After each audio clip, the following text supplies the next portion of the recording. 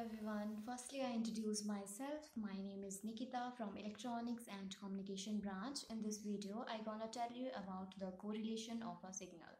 Correlation is nothing but it is a measure of similarity between two signals.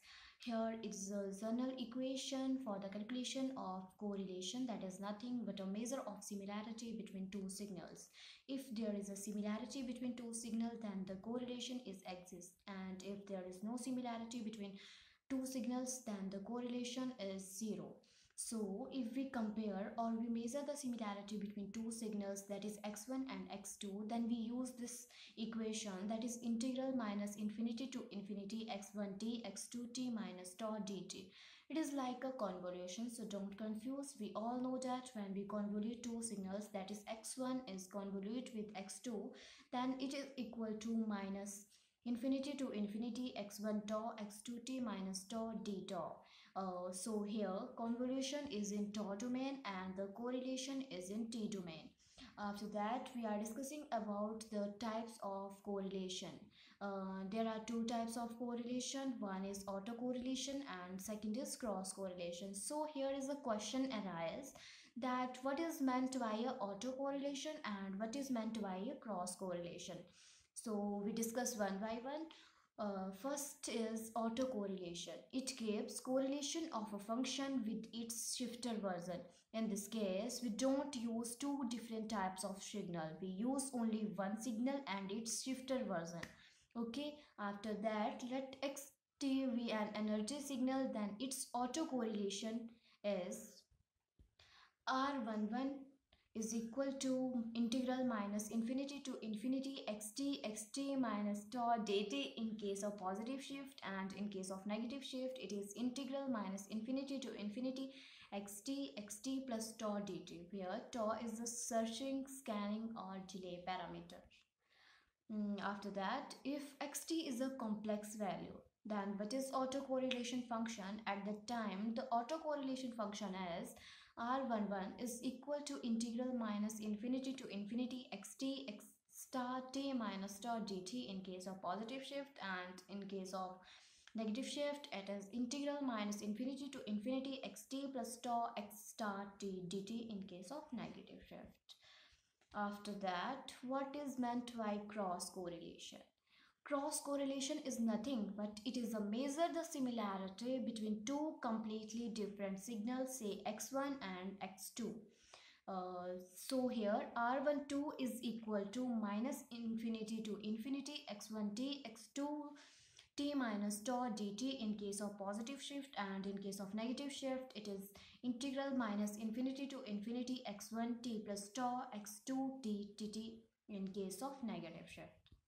Uh, if x1t and x2 are a complex value, then cross correlation function is in case of r12 is equal to minus infinity to infinity x1t x2 star t minus tau dt and in case of negative shift it is minus infinity to infinity x1 t plus tau x2 star t dt and in case of r21 it is integral minus infinity to infinity x2 t x1 star t minus tau dt and in case of positive shift it is integral minus infinity to infinity x2 t plus tau x1 star t dt. Here R12 means we measure the similarity from one signal to another signal and R21 means we measure the similarity from signal 2 to signal 1. Uh, after that, we are discussing about the properties of autocorrelation in case of energy signal. In case of power signal, it is also a same. So, we only discuss the properties of autocorrelation in case of energy signal. So, here is the first property that it exhibits conjugate symmetry. That is, R tau is equal to R star of minus tau. Um, after that, the second property is the value of autocorrelation function of energy signal at origin is equal to the total energy of that signal. Uh, so here, if we find a uh, energy of that signal and you have a given a autocorrelation function, then you simply put a tau is equal to 0 and you get a energy of that signal. So here if you put uh, r is 0 is equal to integral minus infinity to infinity xt whole 2 dt. And the third property is if tau is increased, the autocorrelation reduces and if tau reduces, the autocorrelation is increased. That means autocorrelation function is maximum at t is equal to 0. Uh, the second last property is the autocorrelation function and energy spectral density are Fourier transform pair. Uh, by this proof, you can see that how autocorrelation function and energy spectral density are Fourier transform. Uh, so we know that the autocorrelation function is RFF is equal to Ft convolute with F minus T. Um, after that, taking Fourier transform on both sides and you all know that when we take the Fourier transform of autocorrelation then it gives a spectral density. So here is a proof. After that, this um, we have discussed about the properties of cross correlation. The first property of cross correlation is it exhibits conjugate symmetry that is R1 tau is equal to R star 21 minus tau.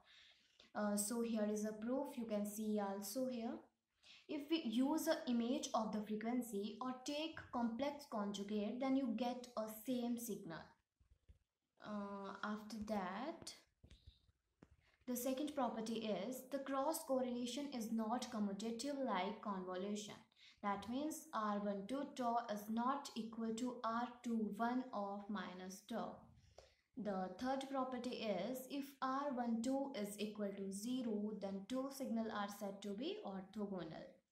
That means if you put a tau is equal to 0 then the signal are said to be orthogonal. The second and last property of cross correlation is that cross correlation function correspond to the multiplication of spectrum of one signal to the complex conjugate of spectrum of the another signal. That is R12 tau of Fourier transform gives x1 omega x2 star omega. This is also called a correlation theorem. After that, we see the applications of cross correlation.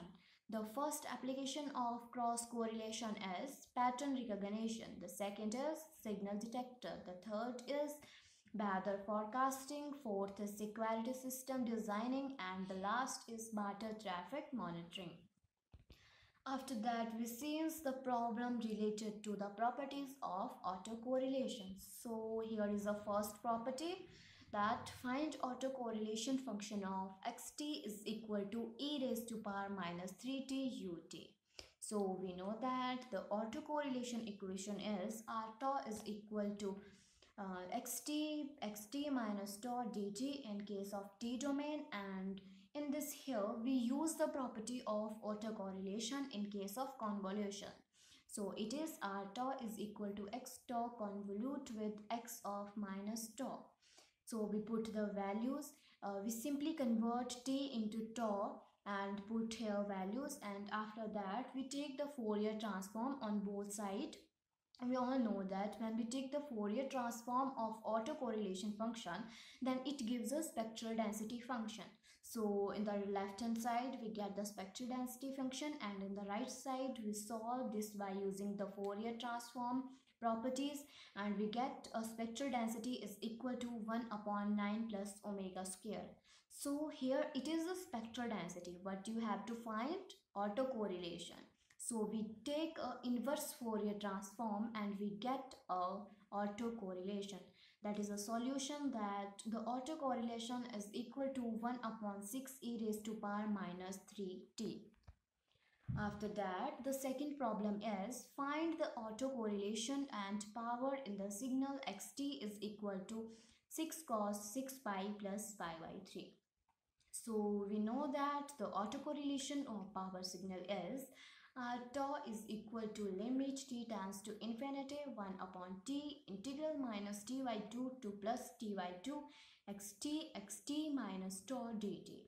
So here we put the values of xt and xt minus tau. After that we can see that here is the property that is cos a cos b that is equal to cos a plus v plus cos a minus b whole divided by 2. Uh, so after using a property we get limit t tends to infinity 18 upon t cos pi tau integration minus t by 2 to t by 2 1 dt. So after the integration of 1 we get t and tt is cancelled out and we get the autocorrelation function is equal to 18 cos 6 pi tau.